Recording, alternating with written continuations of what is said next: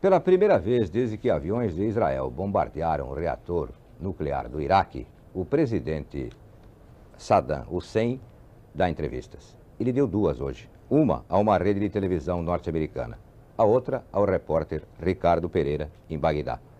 Veja essa entrevista, ela é muito importante para o Brasil. O primeiro assunto que nós tratamos com o presidente foi a acusação israelense de que o Iraque estava preparando uma bomba atômica.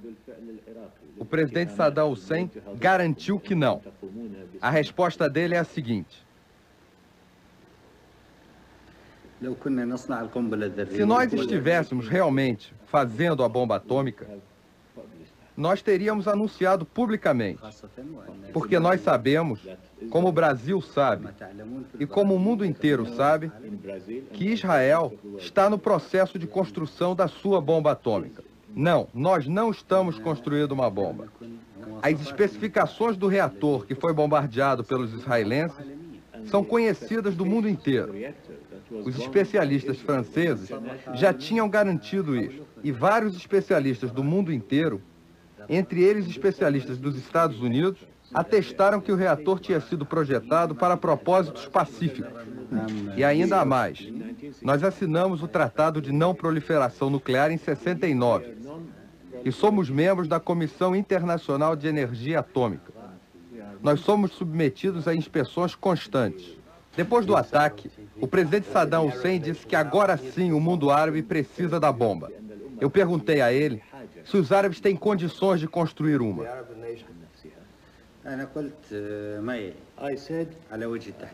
O presidente Saddam Hussein disse que a afirmação dele foi a seguinte, que depois que ficou claro para o mundo inteiro, pelas próprias declarações dos israelenses, que Israel está construindo uma bomba atômica, ficou claro para todas as nações do mundo, para todas as nações que tenham responsabilidades para a paz, que a paz do Oriente Médio precisa de uma bomba árabe hoje. Isso independente da capacidade, do potencial dos próprios árabes. O presidente Saddam Hussein acha que as potências estrangeiras precisam fornecer aos árabes os meios necessários para fazer frente à bomba atômica israelense, para que exista um equilíbrio na região, para impedir que Israel use a bomba atômica contra os árabes. Ele acha que é um direito como outros direitos da vida, o direito da autodefesa. E o presidente Saddam Hussein insiste que essa é uma das condições para a paz no Oriente Médio. Ele diz textualmente: Podemos imaginar como seria o futuro da humanidade se só os Estados Unidos da América tivessem a bomba atômica.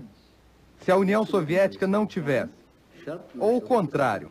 Por isso, com esse raciocínio, falando a responsabilidade do mundo inteiro em relação à paz no Oriente Médio, depois que Israel admitiu publicamente que está fazendo a bomba, Moshe Dayan e outros já admitiram, então eu acho que o, que o mundo árabe também precisa ter a sua bomba. O Iraque pretende continuar o seu projeto de pesquisa nuclear. E se os aviões israelenses voltarem? Nós vamos continuar a construir um Iraque melhor, um país mais feliz para os iraquianos. Por isso, desenvolvendo em todos os aspectos científicos, entre eles, desenvolver o campo da energia nuclear para que possamos aumentar as potencialidades do povo iraquiano. Sim, existe a possibilidade dos aviões israelenses voltarem. É sempre um risco, mas eu acho que as lições que nós aprendemos nós no Iraque e nós de todo o mundo árabe, foram lições profundas. Ficaram marcadas com esta ação, com esta agressão de Israel contra as nossas instalações pacíficas. Isso veio de um país que não está em guerra declarada conosco, com quem sequer temos fronteiras. Eu lhe digo uma coisa: se os aviões israelenses voltarem no futuro, eles não terão uma nova oportunidade de atacar instalações importantes. Eles não vão conseguir outra vez. Houve acusações de que o Brasil estaria enviando urânio enriquecido ao Iraque e que um avião iraquiano vindo do Brasil teria sido interceptado na África. O que, que o senhor tem a dizer sobre isso? Israel sabe exatamente que o nosso reator é pacífico, mas o objetivo básico dos, israelenses é evitar que o Iraque tenha acesso a uma tecnologia importante. Esta é a razão de todas essas acusações, contra o Brasil também. Israel sabe muito bem que todas elas são falsas. O Iraque não precisa de urânio enriquecido, mas Israel quer assustar os países. É uma espécie de terrorismo contra quem só opera pacificamente neste campo. O que eles querem é evitar que países como o Brasil continuem cooperando com o Iraque. Vocês sabem no Brasil, como eu sei aqui, e como o mundo todo sabe, que é mentira. Moshe Dayan e Menachem Begin mentem o tempo inteiro. Menachem Begin disse que atacou num domingo porque os técnicos franceses estariam de folga. Mas ele sabe muito bem que o descanso aqui é na sexta-feira e não no domingo. E ele sabe que os franceses que trabalham aqui trabalham no nosso horário.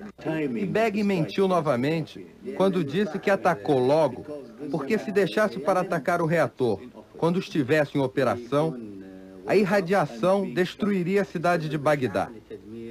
Ele sabe que isso é mentira.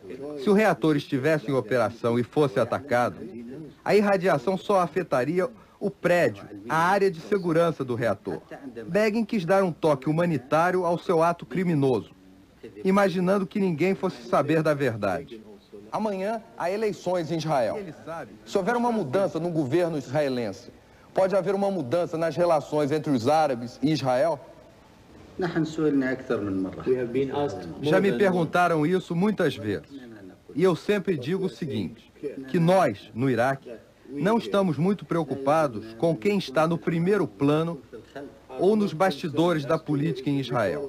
O que nos interessa é que haja uma mudança de mentalidade, que se admita, afinal, que Israel está cometendo um erro histórico em relação aos árabes, tentando chantagear os árabes, violar a sua soberania e a sua segurança. E eles acham que isso vai continuar assim. Não tem nenhum respeito pela capacidade dos árabes e não conseguem analisar o desenvolvimento da política internacional. Se nós sentíssemos que algum dia existisse uma mudança radical, profunda em Israel, Aí então poderíamos estudar, poderíamos meditar a situação. Mas uma simples presença de uma nova pessoa no lugar de Begin, com as mesmas responsabilidades, não muda absolutamente nada na nossa posição. As mudanças na política do Irã, a saída do, do presidente Bani Sadr, podem alterar o estado de guerra? Bem, eu acho que nós não podemos colocar toda a responsabilidade da guerra nos ombros de Bani Sadr. Embora ele, em 1980, tenha dito que o exército iraniano marcharia sobre Bagdá e que o Iraque não poderia resistir. Temos que agir de acordo com a realidade. Por isso, qualquer que seja a mudança no Irã, não podemos julgar agora, só com resultados.